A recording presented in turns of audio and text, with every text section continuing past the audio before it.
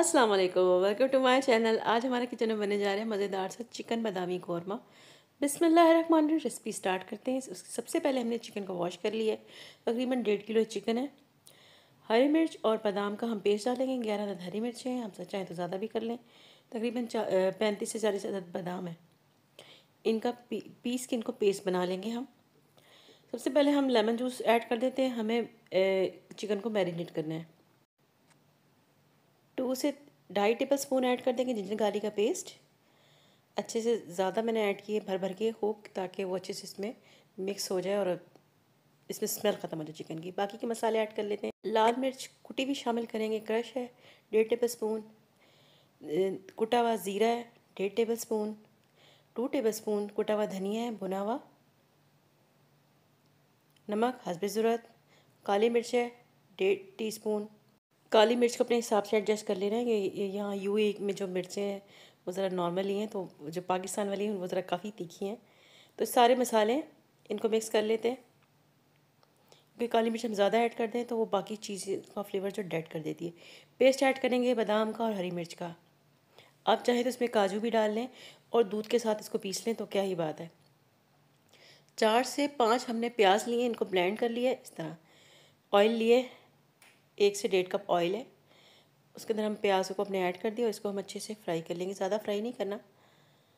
अब हम उसमें ऐड करेंगे तकरीबन हमारे पास इधर इलायची पाउडर है, काली मिर्च है, तकरीबन बीस अदद हैं, और लौंग है, तकरीबन दस से बारह अदद हैं, और जैफिल जावित्री का पाउडर मैंने दर सा कूट लिया वो आपको नज़र ही आ रहा होगा। वो कितना है, वो भी मैंने मेंशन कर दिया है। और आपको देखने में पता चला होगा कितना है। इसको ऐड करके थोड़ा सा फ्राई कर लेते हैं। जिसकी खुशबू खुशबू आएगी। अगर आपके पास साबित हरी इलायची है, वो ऐड करें तो बहुत ही अच्छा रिज़ल्ट आएगा और ज़्यादा अच्छी खुशबू आएगी। अच्छी सी इसकी बुनाई स्टार्ट कर देते हैं। किचन में अच्छी सी खुशबू फैलेगी मसालों को हम ऐड कर लिया है। अब हम चिकन में जो हमने मैरिनेट की थी, वो ऐड कर लेते हैं। अगर आपने ओवरनाइट इसको मैरिनेट करके रखा हुआ है तो क्या ही बात है। ज़बरदस्त। अब हम इसको इतना फ्राई करेंगे। मीडियम आँच पे आपने इतना फ्राई करना है कि इसका कलर चेंज हो जाए। बहुत ही मज़ेदार रेसिपी, बहुत ही अच्छी। और जब आप एक बार बनाएँगे तो दूसरी बार भी आपका बनाने को जी चाहेगा। दावतों वाली रेसिपी है।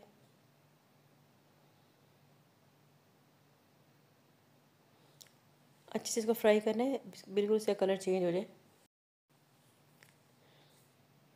थोड़ी देर मैंने इसको ढक दिया था, ये देखिए इसका कलर चेंज हो गया। ऑयल भी इसके ऊपर आ गए अब इसमें हम दही ऐड कर देंगे। डेढ़ कप दही ऐड की है। इसको अच्छे से फेंट लीजिएगा फेंट, अगर फेंटने बगैर डाल दी तो इसका अच्छा रिज़ल्ट नहीं आएगा। कौरमे की शक्ल वैसी नहीं आएगी जैसी हमें चाहिए।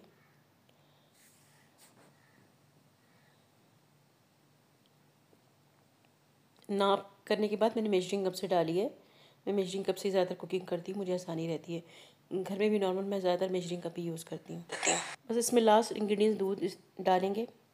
ये आपने ग्रेवी को एडजस्ट करने के लिए कर, डाल देना है। आप ज़्यादा भी डाल सकती हैं। थोड़ी सी काली मिर्च और मैंने इलायची थोड़ी सी और ऐड कर दी और थोड़ी सी अच्छी और खुशबू आए। अब इसको हम ढक के पकाएँगे। क्योंकि हमने सारे मसाले डाल दिए हैं। चिकन हमारा भून चुका है। बस हमें लास्ट में सी ग्रेवी चाहिए। कितनी चाहिए देखें इसकी शक्ल कितनी अच्छी आ गई है। अगर साबित इलायची होगी तो वो सामने नज़र आएगी, वो ज़्यादा अच्छी लगेगी। मेरे पास पाउडर फॉर्म में थी, मैंने वही यूज़ कर ली। आप साबित यूज़ कर लें तो ज़्यादा अच्छा है। तो सिंपल से मसालों के साथ हमारे मज़ेदार सा बादामी कौरमा रेडी है, इसकी रेसिपी बहुत ही मज़ेदार है। और इसका टेक्सचर मैं आपको चेक करवाती हूँ, ये देखें। आप चाहें तो इसको ज़्यादा ड्राई कर लें। नान के साथ सर्व करना है और थोड़ी कम, ऐसी, इस तरह की ग्रेवी हो। देखिए, हमारे जो कौरमा है, वो छीट दे रहा है गाढ़ा हो चुका है। हमारा मज़ेदार सा चिकन बदामी कौरमा रेडी है। इसकी बहुत ही मज़ेदार सी रेसिपी शेयर की।